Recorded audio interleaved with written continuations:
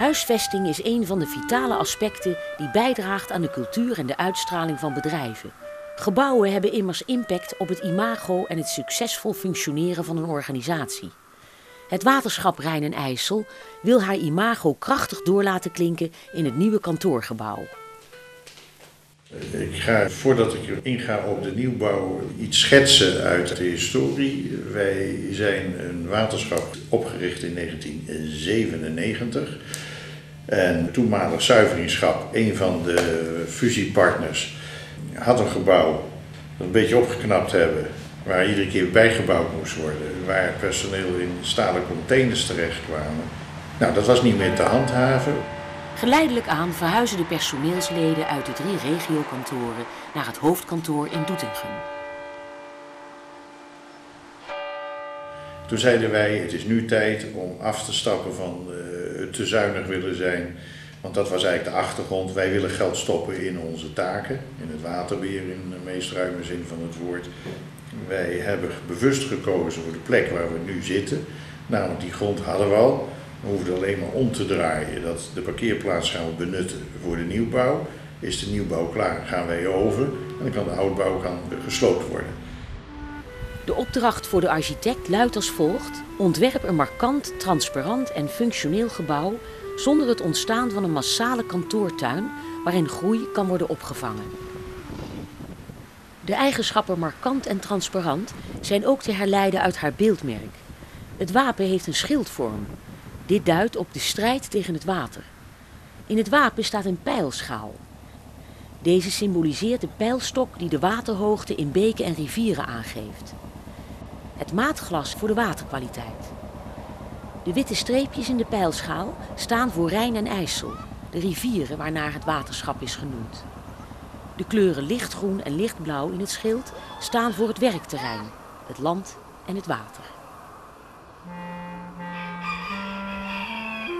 Waterschap Rijn en IJssel zorgt voor het waterbeheer in Oost-Gelderland, het zuiden van Overijssel en het zuidoosten van de Veluwe. De missie luidt veilig en op maat. Het waterschap voert hiertoe op diverse plekken in het werkgebied projecten uit. De aanleg en het onderhoud van dijken behoort tot haar hoofdtaken. Een andere hoofdtaak is het zuiveren van vuil afvalwater in zuiveringsinstallaties voor het de natuur instroomt.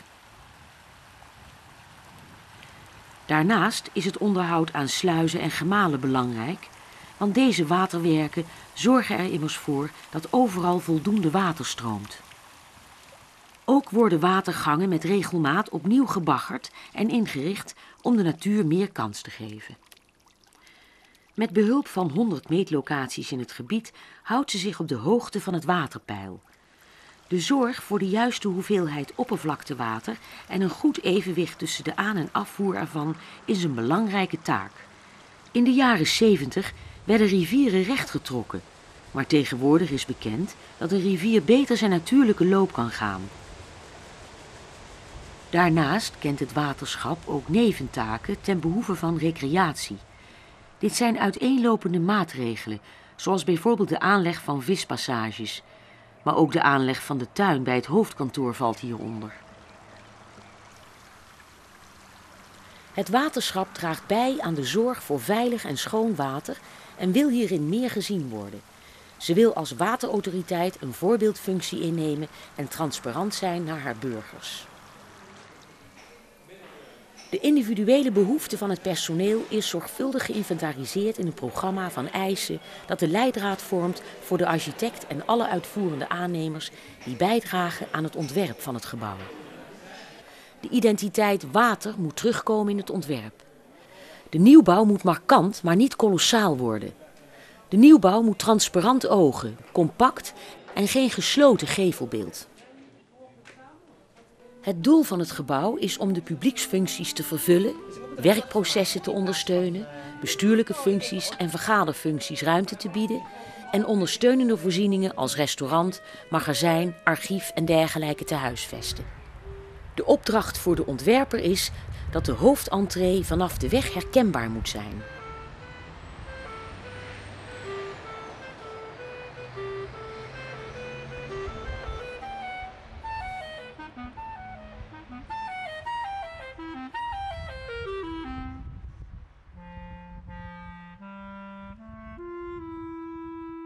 We met het ontvangstgedeelte geprobeerd hebben is eigenlijk een zo open mogelijk ruimte te maken.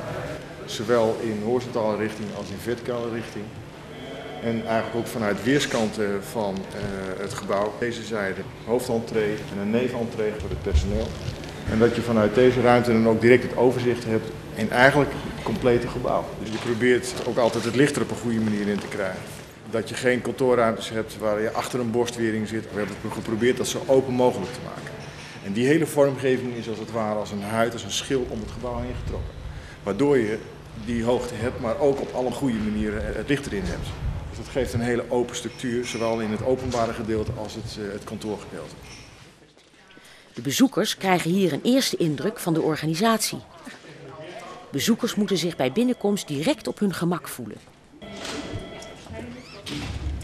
Kunt rondom een kern lopen, een kern waar alle basisvoorzieningen in gemaakt zijn.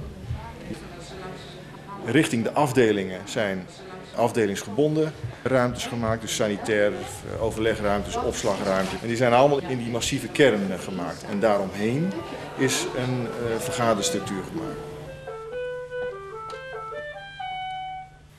Identiteit van units, maar ook binding tussen de units vindt men erg belangrijk.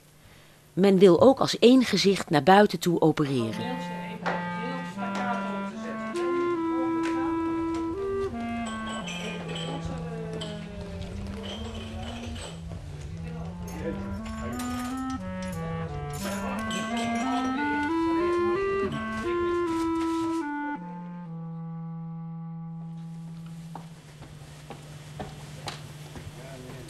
In het programma van Eisen staat dat de inrichting van de werkomgeving prikkelt tot spontaan en gepland ontmoeten. De verwachting is dat kennis natuurlijker kan worden ontsloten en gedeeld. De werkruimtes zijn zodanig ingedeeld dat alles wat je direct nodig hebt om te kunnen functioneren, vind je op de werkplek. Dat wil zeggen een, eh, een tafel of een bureau, een stoel, een eh, computer.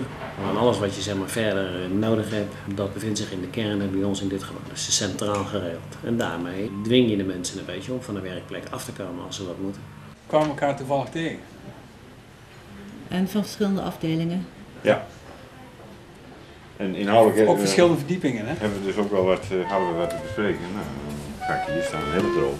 We kijken naar de inrichting van de werkplekken. Iedere organisatie zal bij nieuwe huisvesting ernaar streven om de medewerkers een werkruimte te bieden om optimaal te presteren. Hoe bevalt het, open ruimte? Het, het went, het is gewoon uh, elkaar aanvoelen en uh, je niet meer verplicht voelen om elke keer als je ergens langs loopt om hoi te zeggen of, of iets te moeten zeggen, zeg maar. En uh, ja, nu, nu, doet iedereen gewoon lekker zijn ding en uh, volgens mij is het al heel erg vertrouwd. Dit is dus de meivakantie, ja. Het begint al in april, ja. het is mei. Dadelijk op een gegeven merken die mensen daar allemaal, die huis gaan allemaal hier langs komen. Kun je niet in stilte werken. En dan zijn we die cockpits en dan kun je dus wel ongestoord werken. En die cockpits tegenover zijn werkplek. We zitten in de directie, drie units, maar je was geïnteresseerd in de cockpit. Iedereen die rustig aan het werk wil, die kan gebruik maken van deze ruimte. Net was je beneden bij Peter. Die heb ik hier ook al wel eens zien zitten. Terwijl er op twee op cockpit zitten. Of, uh, dus ja. dat is dat minder vast. En dit is het uh, levende bewijs. Ja. Gewoon voor de rust. Ja, voor de concentratie. Ja. Omdat je zo'n compacte werkplekken hebt, betekent ook dat je geen mensen kunt ontvangen op je kamer. Nou, er zijn een aantal vergaderruimtes die we sowieso nodig hebben. En daarbuiten zijn er een aantal informele plaatsen waar je met elkaar kan praten. In die servicegebieden is een ruimte waar met elkaar kan overleggen en een wat hogere tafel. En zelf merk ik dat ik ook regelmatig gewoon in bedrijfsrestaurant zit met een aantal mensen om te vergaderen. Het algemeen bestuur van het waterschap vergadert regelmatig in de Rijn-IJsselzaal. Deze zaal wordt ook voor meerdere doeleinden gebruikt.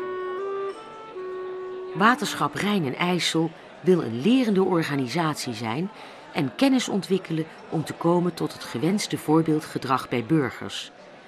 Bij het ontwerpen is dit concept vertaald naar milieuvriendelijke toepassingen in het gebouw.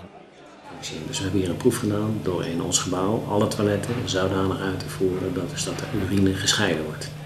Nou, het blijkt dat daar 90% van de verontreiniging van het vlaktewater veroorzaakt wordt door stoffen die in de urine zitten. Die kan je er redelijk uithalen, omdat het maar een hele kleine volume is. Maar wij hebben daar ook een voorbeeldfunctie in. De energie is een andere voorbeeldfunctie. Nou, dat kan door het grondwater te gebruiken om je gebouw te verwarmen en te koelen. Daarmee kan je energielast beperken. Dat betekent wel dat je er wel voorzieningen moet treffen dat je niet te veel warmte naar binnen krijgt via glas.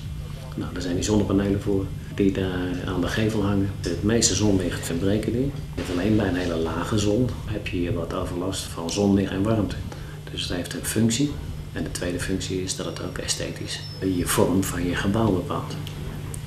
Wat we ook gedaan hebben, dat is dat we het eh, hemelwater wat op het dak valt en op de terreinen vangt, dat we dat via badies afvoeren naar de ondergrond. Dus dat is losgekoppeld van het riool. Dus alleen het rioolwater gaat naar de zuivering toe. En het andere water blijft gewoon op ons eigen terrein. De burger, de belastingbetaler, die willen we betrekken bij de werkzaamheden die wij verrichten. Daar hebben we verschillende middelen voor gekozen. Ik heb straks al gezegd, dat geldt voor de vormgeving van het gebouw. Het is transparant, mensen kunnen binnenkijken, mensen kunnen naar binnen lopen, is allemaal niks, geen probleem. Tweede is dat ze mogen vrij wandelen en recreëren in het park. We brengen ze in aanraking met allerlei kunstobjecten, gedichten. Prachtig bronzen beeld dat symboliseert een dijklichaam. Zodat ze dus ook op die manier betrokken worden bij het werk van het waterschap. En om het nog extra te benadrukken hebben wij ook een kleine weliswaar, maar een kleine ruimte gereserveerd voor het vormen van tijdelijke exposities. En dan gaan wij mensen uitnodigen, juist uit ons gebied. En dat kan professionals eh, kunnen dat zijn, maar het kan ook zo zijn dat we zeggen tegen amateurs ga eens wat werk ophangen. En ik hoop dat wij dan weer publiek trekken en dat we op die manier ook het publiek weer betrekken bij het werk dat wij doen.